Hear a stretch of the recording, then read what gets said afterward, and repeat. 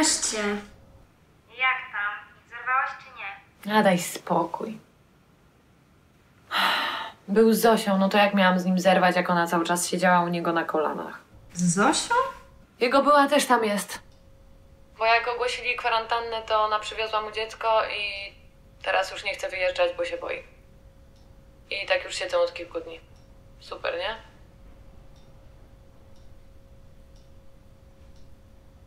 Luzik. Może się zejdą? Będziesz miała problem z głowy? No może.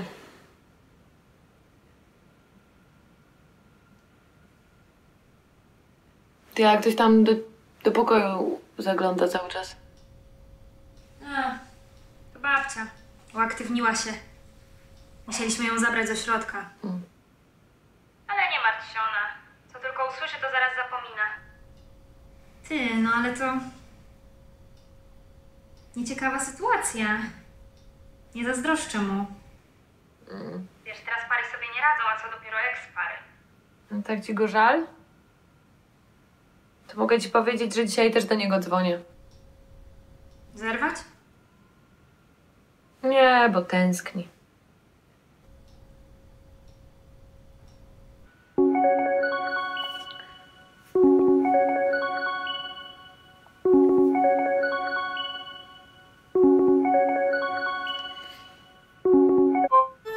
Widzisz mnie?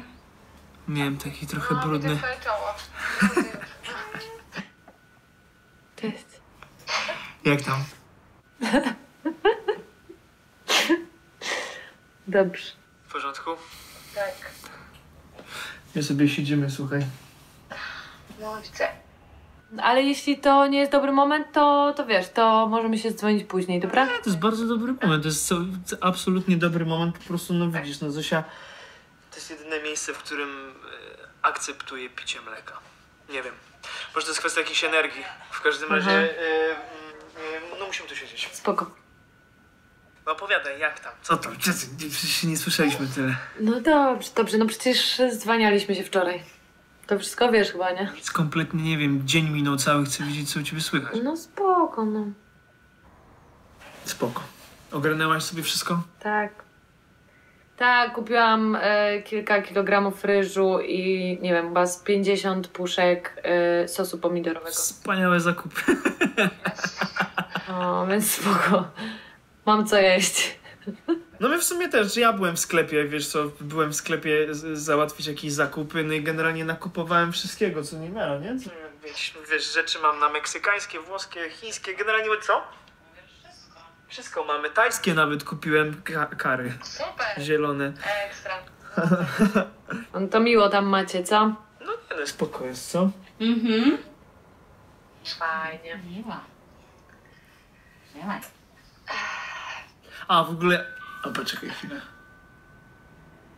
Słyszałeś Co? dzwonisz? Aha. Zamówiłem pizzę. Generalnie wy, wyczytałem w internecie, że można zamówić pizzę, tylko musisz yy, yy, zdezynfekować pudełko spirytusem, oczywiście jak masz spirytus i yy, wsadzasz do, do mikrofali albo do piekarnika, w każdym razie na milion stopni i cała bakteria ginie. nie? Więc yy, daj mi chwilę, poczekaj, podzwoni.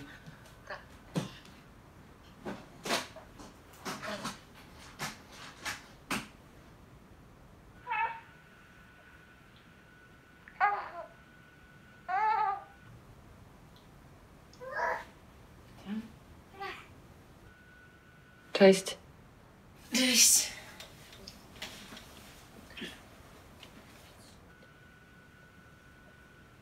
Wszystko okej? No nie bardzo, no. Nic nie jest okej.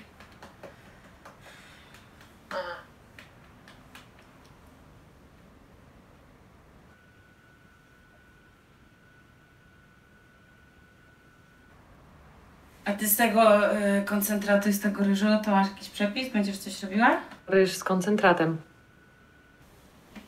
No tak. Odbiłaś czy nie odbiłaś? Weź odbiję. Dobra, czekaj, mam wszystko.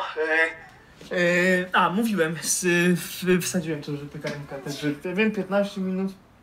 Słyszysz, Ola? 15 minut. Dobrze. Tak. Mhm. Ale to co, to ty nie narażasz teraz kuriera? Bo przecież on musi i tak jeździć. Nie. No co, błagam cię, zostawił mi pod domem, nawet wiesz. Praktycznie go nie widziałem. Nie wiem, czy zamawiałeś cokolwiek, bo kurierzy są bardzo e, przezorni teraz. Zostawiają pizzę e, pod twoim domem i nawet, czy, czy tam pod drzwiami, zależy gdzie mieszkasz. W każdym razie, e, wiesz, tylko ci ewentualnie machają. A jak masz zapłacić, to też zostawiasz na ziemi i odbiegasz. No dobrze, że zapłaciłem Mhm. wcześniej, bo musiałbym Czuję wszystko, co? Dobrze, leć.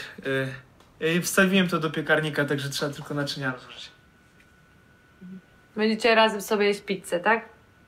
Strasznie tęsknię za tobą. Mm. Zadzwonimy potem do śniadania, nie wiem, może... Tak, zadzwonimy. Kocham cię. No, dzwonimy się jakoś, dobra? Mhm. Słyszałeś, co powiedziałem? E, co powiedziałeś? Że cię kocham. E, cieszę się. Dobra, to, to się dzwaniamy jakoś później, dobra? Dobra, ale ty się rozłącz.